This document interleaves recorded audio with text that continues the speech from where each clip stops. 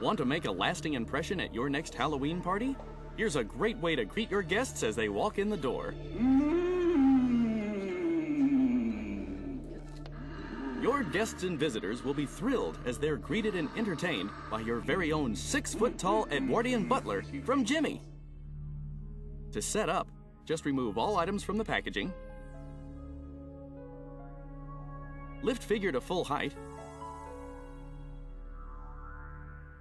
attach the head and the hand platter, plug it in, and set the activation toggle switch to your liking. Watch as he shifts his eyes, turns his head, even speaks when approached.